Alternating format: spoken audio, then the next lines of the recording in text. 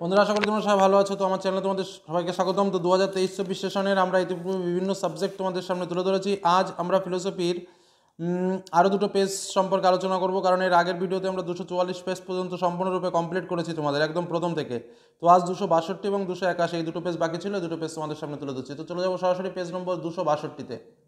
চলে এলাম পেজ নম্বর দুশো বাষট্টি, আমাদের প্রথম প্রশ্ন, দেখো, যে যুক্তিতে আশ্রয় বাক্য থেকে সিদ্ধান্তটি অনিবার্যভাবে নিশ্চিত হয় তাকে কি বলে অবরোহ?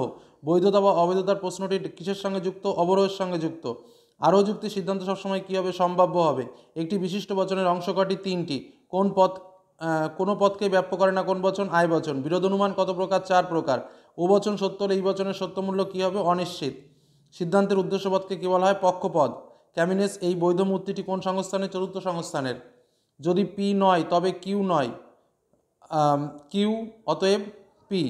এই যুক্তিটি কি? অবৈধ হবে। বৈকল্পিক নিরপেক্ষ ন্যায়ের কোন বাক্যটি বৈকল্পিক বচন? প্রধান বাক্য, অস্তিত্বমূলক তাৎপর্য নেই। এটা কোন বচনের? সামান্য বচনের। কোনো অমানুষ কবি নয়, এর বুলীয় ভাষ্য কী হবে? S bar P equal to zero যে বৈকল্পিক বচনের বিকল্প দুটি একই সঙ্গে সত্য হতে পারে, তাকে কি বলে? অবিসংবাদী। যদি পি সত্য, কিউ মিথ্যা হয়, তবে পি হর্ষু কিউবেল কিউ হর্ষু পি, এর সত্যমূল্য কী হবে? উত্তর হবে সত্য। পরবর্তী কোশ্চেন পি হর্ষু কিউ ডট কার্ল, পিওর সু কিউ, বচনটি হলো কি? উত্তর হবে অনিশ্চিত।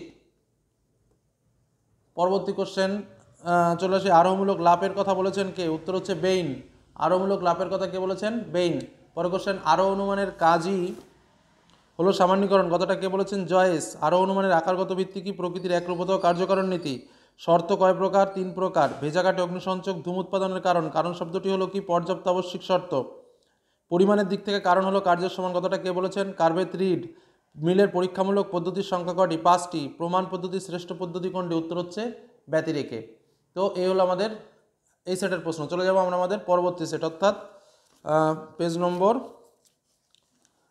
দুশো একাশি পেজে চলে যাব। চলে এলাম পেজ নম্বর দুশো একাশি। প্রথম প্রশ্ন, তর্কবিদ্যার মূল উৎস কি? চিন্তা, বৈধতা সম্পর্কটি জড়িত কার সঙ্গে? যুক্তির আকারের সঙ্গে। যে যুক্তিতে আশ্রয় বাক্য থেকে সিদ্ধান্তটি অনিবার্যভাবে নিশ্চিত হয়, তাকে কি বলে? অবরোহ যুক্তি। সাধারণ বচন হলো কি? ঘোষক বাক্য। ও বচনে যে পদটি ব্যাপ্য হয়, সেটি কি বিধেয় পদ? আয় এবং ও বচনের বিরোধিতার সম্বন্ধ হলো কি? বিপরীত সম্বন্ধ। অসম বিরোধিতার ক্ষেত্রে যদি বিশেষ বচনটি সত্য হয়, তবে সামান্য বচনটি সত্যমূল্য কী হবে? অনিশ্চিত। নিরপেক্ষ ন্যায়ের সিদ্ধান্তটি যে, সিদ্ধান্তে যে পদটি থাকে না, সেটি কি? হেতুপদ তারপরে F E S A P O মূর্তিটি বৈধ হয় কোন সংস্থানে? চতুর্থ সংস্থানে। প্রাকল্পিক নিরপেক্ষ ন্যায়ের প্রধান আশ্রয় বাক্যের অংশ দুটি কী কী পূর্বগ ও অনুগ? বৈকল্পিক নিরপেক্ষ ন্যায়ের সিদ্ধান্তটি সর্বদাই যে বচনে হয় সেটি কি নিরপেক্ষ বচন? সকল অ এস হয় এ পি বচনটির বুলীয় ভাষ্য কি? S bar P bar equal to zero. কোনো কোনো ছাত্র হয় অকবি বচনটির ভেনচিত্র কী হবে? এই যে বিদাগের এটা এটা হবে। যে যৌগিক বচনের সত্য সারণী কতগুলো নিবেশন দৃষ্টান্ত, সত্য এবং কতগুলো নিবেশন দৃষ্টান্ত মিথ্যা সেই বচনটি সত্যমূল্য কী হবে? আপতিক। পি সত্য হলে পি ভেল কাল কিউয়ের সত্যমূল্য কী হবে? সত্য। যা বচনের অংশগুলিকে সংযুক্ত করে তাকে কি বলে? যোজক। আরও অনুমানের আকারগত ভিত্তি কি? প্রকৃতির একরূপতা ও কার্যকারণ নীতি। লৌকিক আরোহকে শীর্ষলভ অনুমান কে বলেছেন? বেকন। যে উপমা যুক্তির সাদৃশ্যগুলি প্রাসঙ্গিক, অকৃত্রিম, নিজস্ব ধর্মবিশিষ্ট তাকে বলা হয় কি? ভালো বা উত্তম উপমা যুক্তি কারণ শব্দের দ্বারা পর্যাপ্ত আবশ্যিক শর্তকে নির্দেশ করে কে? আই এম কপি অক্সিজেনের উপস্থিতি দহনের কারণ। বাক্যটিতে কারণ কথাটি যে অর্থে ব্যবহৃত হয়েছে, সেটি কি? আবশ্যিক শর্তে। শক্তির অবিনশ্বরিতার সূত্রটি হলো, কিসের সূত্র? উত্তর হচ্ছে কারণের পরিমাণগত লক্ষণ। মিলের যে আরোহমূলক পদ্ধতিতে কেবল দুটি মাত্র দৃষ্টান্ত যাচাই করা হয়, সেটি কি? সেটি হচ্ছে ব্যতিরেকে পদ্ধতি।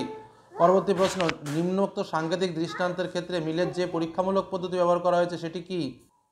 এখানে যেটি দৃষ্টান্ত রয়েছে, দেখো পূর্ববর্তী ঘটনার সঙ্গে অনুবর্তী ঘটনা, তো এক্ষেত্রে দৃষ্টান্ত দেখে আমরা বুঝতে পারছি যে এটা কিন্তু অন্যই পদ্ধতির দৃষ্টান্ত। তো এই হলো আমাদের ফিলোসফির সমস্ত পেজ এর আগে আমরা অন্যান্য পেজ সলভ করেছি এবং আমাদের দুটো পেজ কম বাকি ছিল, আমরা সে পেজ দুটো কিন্তু কমপ্লিট করে দিলাম। তো চলো, এরপরে অন্য কোনো ভিডিও নিয়ে আসব, তো আজকের মতো এখানে শেষ করছি, ভালো থেকো, সুস্থ থেকো, সাবধানে থেকো, ধন্যবাদ।